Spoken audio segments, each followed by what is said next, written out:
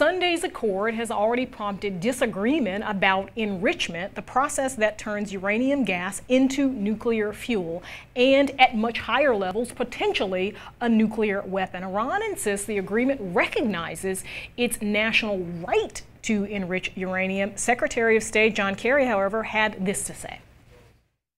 There also seems to be a clear difference between the United States and Iran on this issue of whether they have the right to enrich uh, uranium. Does the U.S.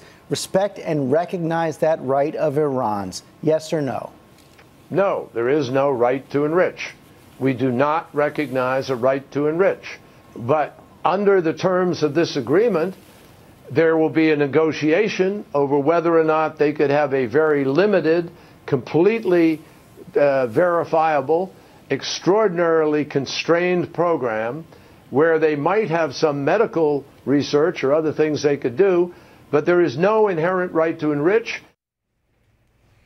From nuclear ambitions in Iran to so called nuclear options on Capitol Hill, it's been a very busy few days in Washington. Washington. We're even facing a new British invasion, this time at the post office. More about that later. Here to break down what's been happening and what comes next is Jackie Kucinich. She's Post TV's Capitol Hill correspondent. Also here with us, Robert Traynham. He's a political analyst for MSNBC.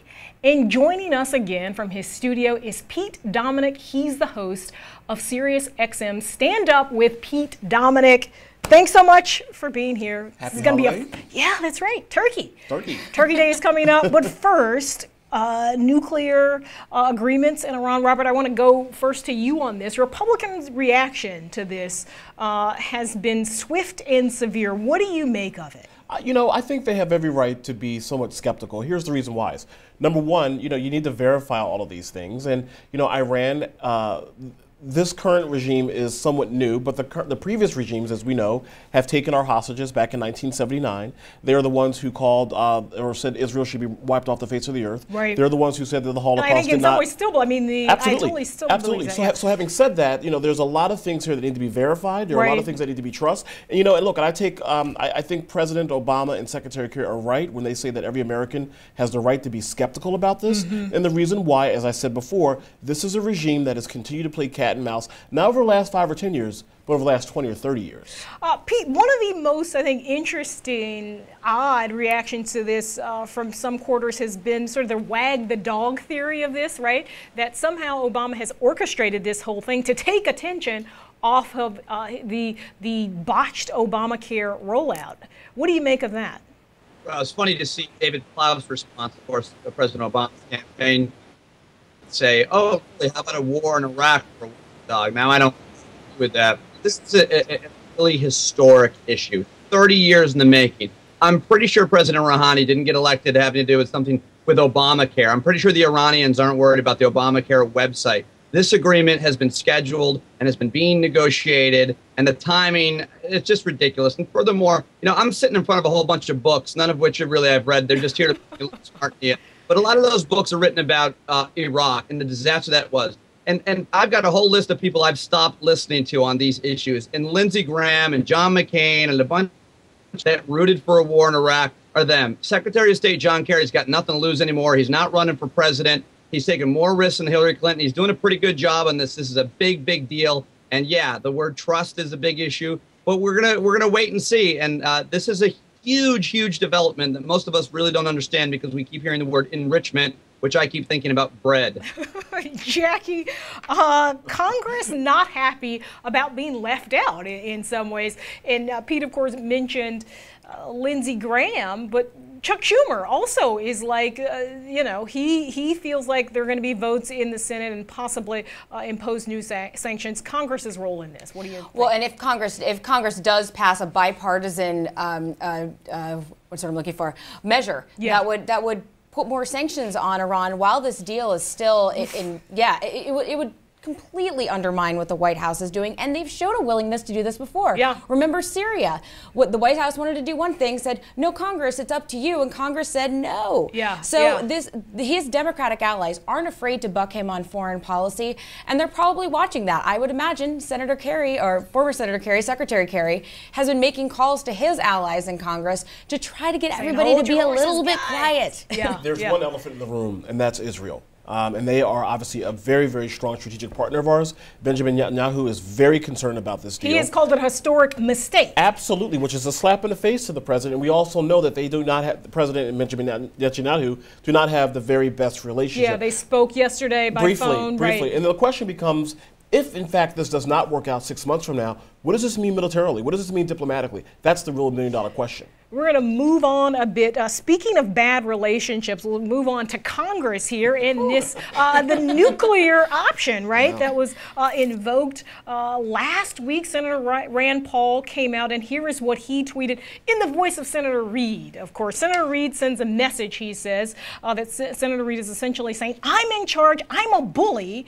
I'm going to get my way." Or change the rules. Uh, Jackie, what do you make of what we have seen out of Congress? Well, this is the culmination of a very long period of Congress really sides not really liking each other. Yeah, yeah. And this actually strengthens the president's hand because his nominees aren't going to be facing this um, 60 vote threshold anymore. Right. And you So- saw Reid partying with liberals, right? A lot of liberal activists after this happened. Well, and the danger here is, of course, the Senate does change hands. Yes. And if it does, you can imagine Republicans might take this a step further, make it apply to Supreme Court nominees, because Yeah. right now it doesn't. Yeah, A- yeah. And it and I and I can't imagine they won't, because this is a precedent that has changed a long history, and they tend to take precedents and run with them. Yes, Robert, uh, it could very well come back, back to bite Democrats uh, in the you know what. And, Oh, and you know, the, the six.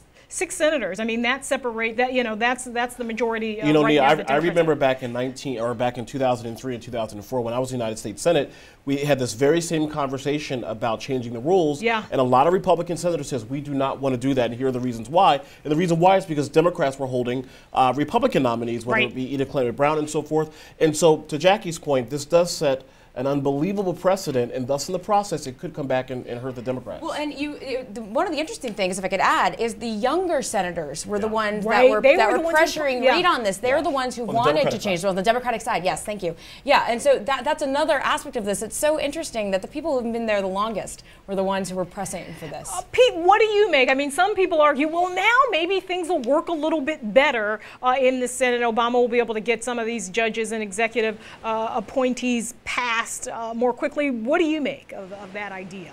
you know, you'll have people who'll be honest and won't be partisan on the right that say, listen, the president has the right to appoint who he wants to these agencies and to these uh, to these courts. The every that's every president's prerogative. This president hasn't been able to do much of anything. They've been using the filibuster uh, more than it's ever been used, and they're certainly not going to get any legislation passed. We understand that, even on immigration, which Republicans desperately need to do something on. So th- they just took a risk and said, you know what? We've got these making these appointments are going to make this administration in its second term a lot more productive. But it is interesting to see a senator like Carl Levin, Levine, who's been, Levin, who's been there for like 200 years, be one of the only Democrats to say, you know what? I've seen this. I've seen the Senate change hands. This is a bad idea. Uh, and some of the new senators say, forget about it. We've got to be able to break uh, this stranglehold that Republicans have, even though we have the majority.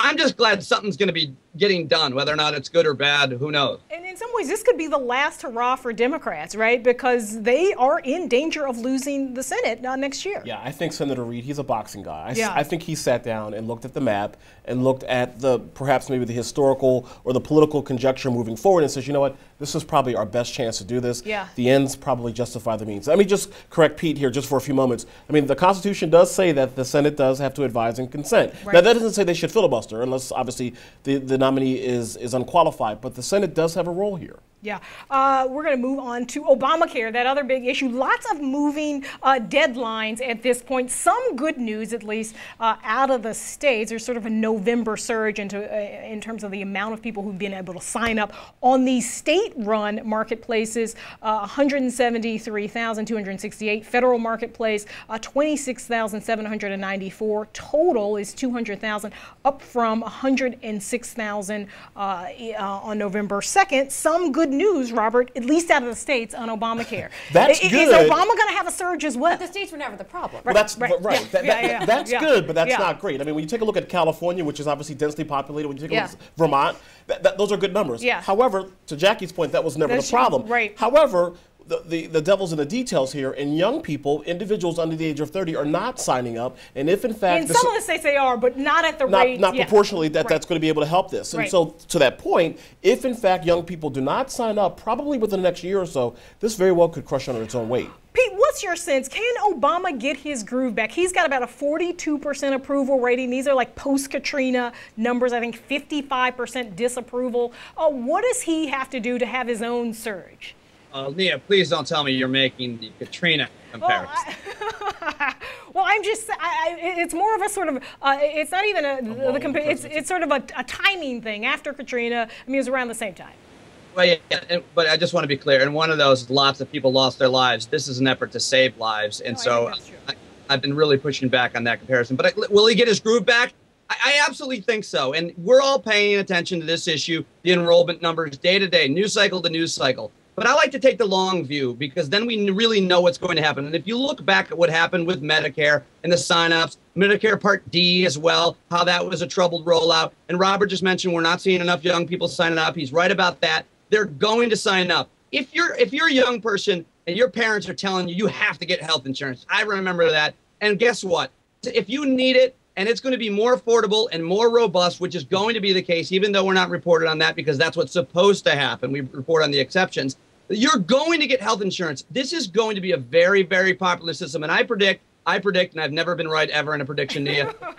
for next year, uh, President Obama is going to have his groove back. His approval rating is going to be high, and Obamacare and the website are going to be working. Oh my goodness. Jackie, can you imagine uh, what Democrats are actually going to want to be seen with Obama on the stump in 2014? He is campaigning In Kentucky. behind- in, in Kentucky, that's it. I yeah. well, well, Kentucky, yeah, that's right, they- because they've they've had- got the They've had a lot of success in Kentucky with Yeah. the, their state. Kay Hagan. Uh, no, No. I don't think so. I don't Landrieu? Think, doubtful. Yeah, yeah. yeah. I, I think I think a lot of well, Landrieu is uh, one of the few Democrats in the in competitive states who has embraced the Affordable Care Act and who really has defended her vote and really been forceful about Yeah. that. So maybe Mary Landrieu. I doubt it though. Right, I, I think I think Republicans are going to keep trying to make this an election issue in 2014 and in 2016 if they still can. It, and this rollout is helping them do that.